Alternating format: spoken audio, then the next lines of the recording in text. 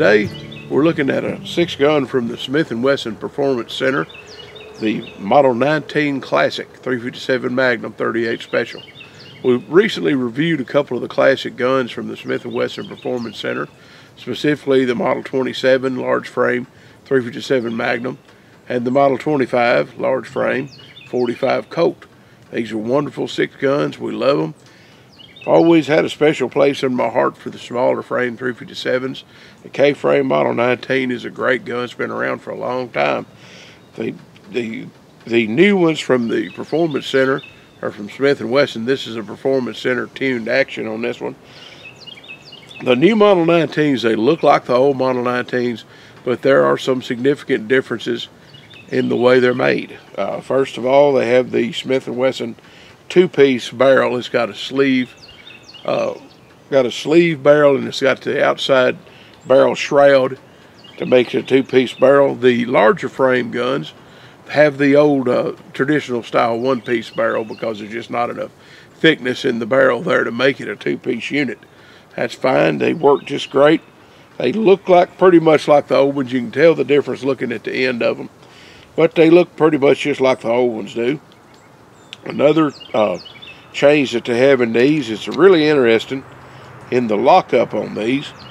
Instead of having the traditional lockup on the back of the cylinder and the front of the rod, they have uh, their two-piece lockup is on the back of the cylinder and on the crane itself right here in front of the cylinder, reminiscent of the wonderful old triple lock revolvers from the early 20th century, which was the first model hand ejector large frame. Uh, these are not to be compared with that. They only have two lockups instead of the uh, triple locks had the one out here also. So these have two lockups, but it's just locks locked up locks up differently. It's really interesting the way they do it. Another thing these have is the uh, key lock system, Smith & Wesson key lock system, which the original Model, Model 19s obviously didn't. That was before the lawyers took over.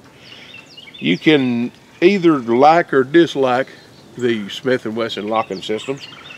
I'm not crazy about them, but I find them easy to ignore. I know a lot of people that won't have a Smith & Wesson gun with a lock in it. Well, that's on them. They're missing out on some fine six guns. Smith & Wesson's making some great stuff these days, and if you allow yourself to be prejudiced by not having one with a lock in it, well, that's too bad for you. Uh, locks are here to stay. They're considered by some to be a safety feature, and a safety feature is never removed. They can't do it. If they start taking the locks off a gun and some idiot didn't know how to raise his kid, has a kid come in there and load it up and shoot himself with it, turns around and, well, Smith & Wesson's no more. So they can't take the lock out. It's in there to stay. You might as well get used to it. Give up on calling it a Hillary hole or something like that. That's real uh, clever phrase there, Hillary hole. It's pretty funny. I laughed at it a bunch of times when I first started hearing it, but it's not funny anymore. Uh, you're, you're letting yourself be cheated out of some fine guns by not having anything to do with the lock. Some people are the same way with the two-piece barrel. I ain't nuts about them, but there's nothing wrong with them. The only thing that's wrong with them, that, as far as anybody can tell you, is they're not the way Smith & Wesson used to do them. Well, that's true. That don't mean they're any better, don't mean they're any worse. Not the way Smith & Wesson used to do them. And that's okay. These are fine guns. They, they shoot great. They look great. They look like the old ones. They shoot great. They balance like the old ones. This is the four-inch barrel model. They, they, they work just wonderfully. The trigger pulls on them. As I said, this is a Performance Center tune trigger. Make sure it's not loaded here. The uh, trigger pulls on them. The double action on my trigger pull gauge. It's about eight and a half pounds very smooth. It's just a dandy trigger. They did a great job on these. The single action pull on them is equally wonderful. It drops at about three and a quarter pound on my trigger pull gauge. And it's smooth. There's not a bit of creep to it. And you can't see an over travel stop on it, but doggone, there's no over travel in it either, which is something that I love. I hate over travel in a trigger. I love the way they did the triggers on these. They're just wonderfully done. They're, they're uh, they're available through the Performance Center with the tuned action, and they're, they're well worth it. They're just they're the dandy six guns. Have a look at these and other Smith & Wesson Performance Center uh, guns and uh, you, are going to like them. They got a, a, lot of different kind of stuff. They got modern guns. They got, as, even as the revolvers, revolvers are concerned, they got guns that are ported and got all kind of fancy stuff on them, and they're really neat stuff. And then they've got the traditional guns also, which is what I happen to like myself. They're wonderful guns. Check them out at smithandwesson.com. If you want to buy these online, you can go to galleryofguns.com, click on the Gun Genie, and it'll let you get uh, dealers in your area competing for your business, and they'll uh, they'll get with you and and you know, give you the total price.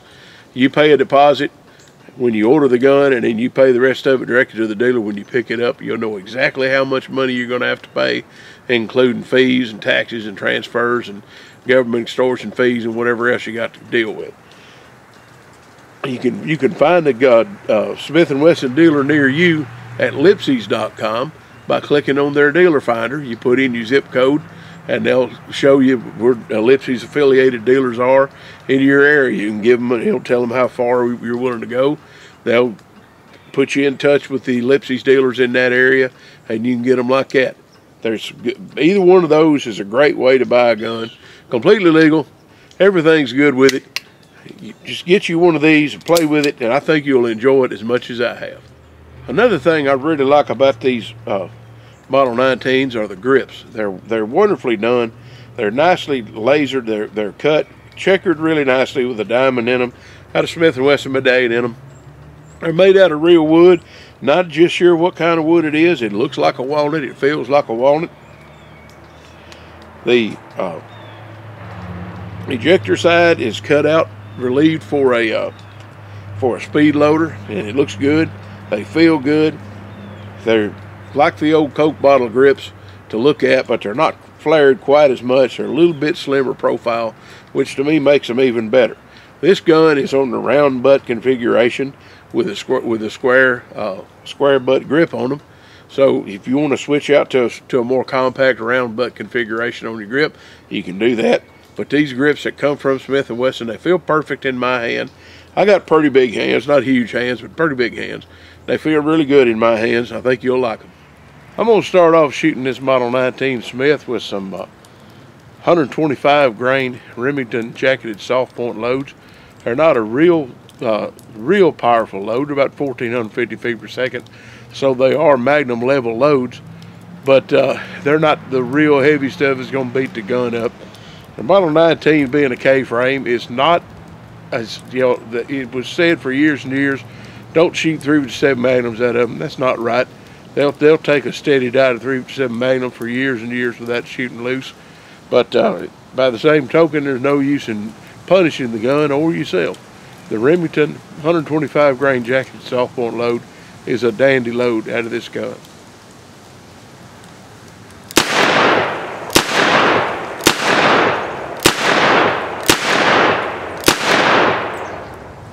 Another good thing about the 357 Magnum is it'll also shoot 38 specials. I love 38 specials, one of my favorite rounds. They're easy shooting, just a lot of fun, have a nice quiet afternoon shooting them things. They, they'll get the job done for uh, self-defense or whatever, but mostly I just think they're fun to shoot. Probably my favorite 38 special load is a double tap 148 grain full wad cutter load. It's a it's a, a uh, hard cast wad cutter, not a swaged wad cutter. So they're not going to ledge your barrel, but they have the wad cutter accuracy that the wad cutters are famous for. They punch beautiful holes in paper. They're just very accurate load. Double tap loads them better than anybody that I know of. They're very consistent loads and very accurate loads, and I just love them.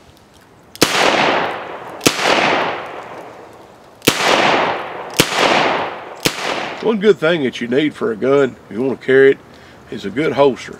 I like these holsters from Rob Leahy at Simply Rugged Leather. This one is a shark skin holster. It's made for, I, I ordered it for a three inch gun. This is a four inch gun. So it sticks out just a little bit, not a problem. Because they're open on the bottom, just sticks out a little bit of barrel on that one. It's not a big deal. But uh, I'll be showing you more on the three inch gun that I ordered it for later. This one's made out of shark skin. It's a pancake. It rides high and tight the butt, butt's here against your body. It's got a little tab on the holster so the, the metal part's not rubbing your belly or anything. but it, it holds it in nice and high and tight. If you want to have a little little jacket over this, wear your shirt tail out or whatever, it hides really well. It carries comfortable. You can carry it all day and not even know it's there. Even for a, a all steel, relatively heavy gun like a Model 19. It, it's out of the leather fast. It's back in the leather pretty good. They are they're just dandy little old holsters. Rob Leahy at Simply Rugged Holsters in Prescott, Arizona. He knows what he's doing. He's a good guy. He's a good friend of ours, and he makes some really good stuff.